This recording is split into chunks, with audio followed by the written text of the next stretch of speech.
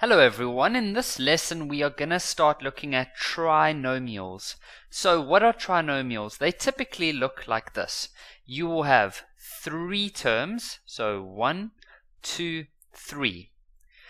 The, you'll have something that has a power of 2, something that is just a power of 1, like an x, and then there'll be a number by itself. So a few other examples would be something like this, I don't only have to use x, I could use a, I could even use y. See, so it has to have a something to the power of 2, then a normal y, and then a number by itself. Those are called trinomials. So this is not a trinomial because that's got two terms. This is not a trinomial, although it's got three terms. A typical trinomial is x squared, x, and then a number by itself. Of course, there are exceptions, but for now, this is not a trinomial. Alright, so here's our first trinomial that we're going to look at because we need to know how to factorize this. So what we do is we look at this number at the end, and that's a 4. So we write out all the factors of 4. So 4, you could say 4 is equal to 4 times 1, or you could use 2 times 2. We now look at this number over here, and we think to ourselves, could I make the number minus 3 using 4 and 1, or should I rather use 2 and 2? Well, 2 and 2 will never make minus 3. You could say 2 minus 2, you could say 2 plus 2, you're never going to get to minus 3. However, if you use 4 and 1, you could get to minus 3. How? Well, if we add them, that's not going to work. If we minus, if we say 4 minus 1, that's 3. If we say 1 minus 4, that's minus 3. Oh, and that's what we wanted. So we want 1 minus 4.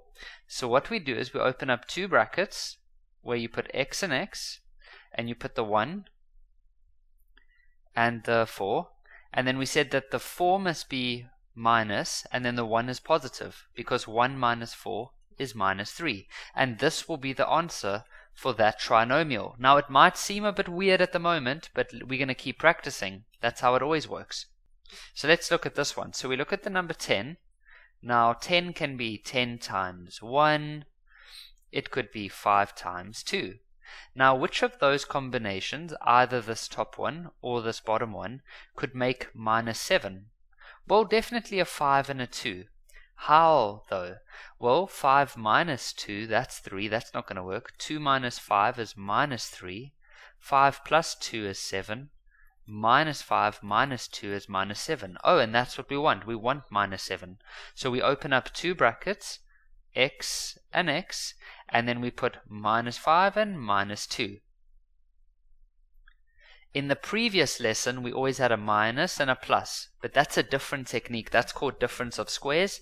With trinomials, you could have a plus and a plus, a minus and a plus, a minus and a minus, a plus and a minus. It doesn't matter as long as you make this number in the middle. Okay, but Kevin, how do I know that this actually works? Okay, well, let's multiply this out. So x times x is x squared. Then x times 2 is minus 2x. Then these two gives you minus 5x. And then those would give you plus 10. Now in the middle you would have minus 2 minus 5, which is minus 7x plus 10. And so look, we get back to the original. Maybe you're starting to understand this already. Maybe you can try this one yourself.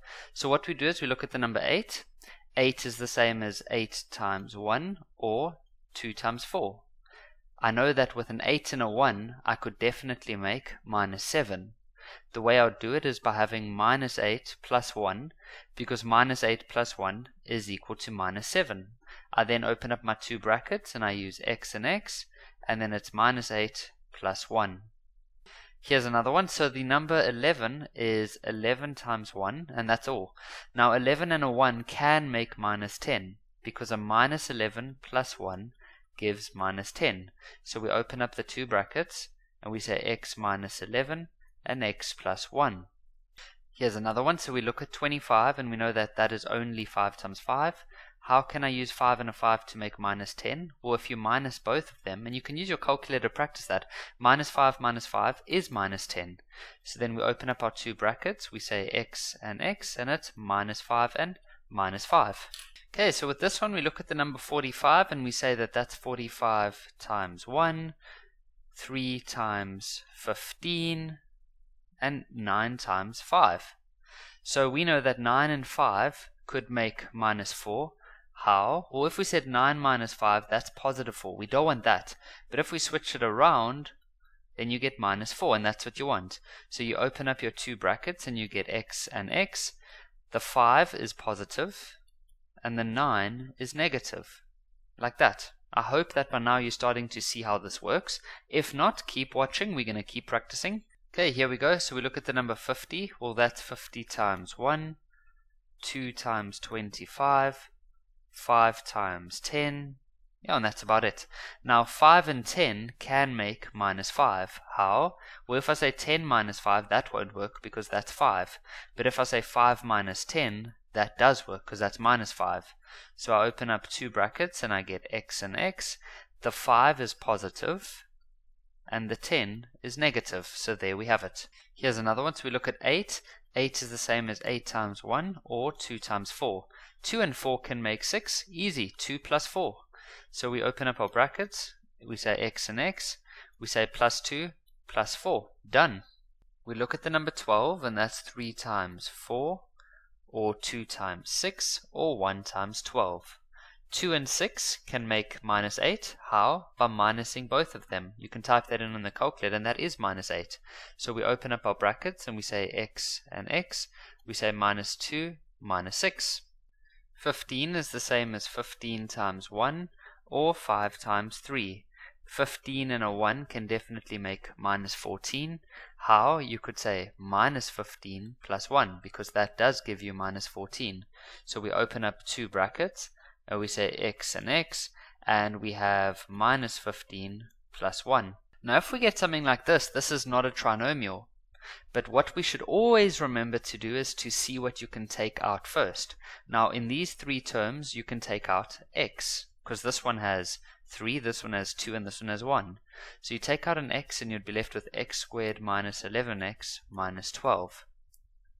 Now, this part inside here is a trinomial.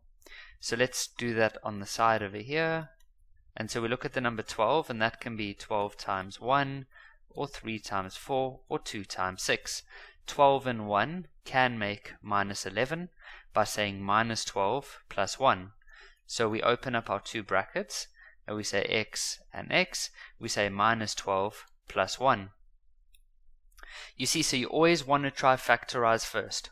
Always. Why didn't I do that in the previous trinomials? Because I had already designed them in such a way that you couldn't take anything out. So here we go. In this, in these three terms, you can take out an x squared because that's there's that's got two x's, that's got three, and that's got four. So we take out an x squared, and then you're left with x squared minus 3x minus 4. This is a trinomial. So what we do is we look at the number 4, and that is 4 times 1 or 2 times 2 a 4 and a 1 could make minus 3. How? By saying minus 4 plus 1. So we leave the x squared on the outside, we open up our two brackets, we say x and x, and then we say minus 4 plus 1. And there we go, guys. That is your introduction to trinomials. If you're feeling overwhelmed or you're a bit confused, you just need to keep watching. Trust me, I've been in your same position. I struggled with maths in grade 9 but I now know how to get over it. All you do is you keep practicing, you keep watching, you keep watching. Put the phone away, keep watching, and keep practicing. All of a sudden, things are going to start making sense. That is how life works, okay?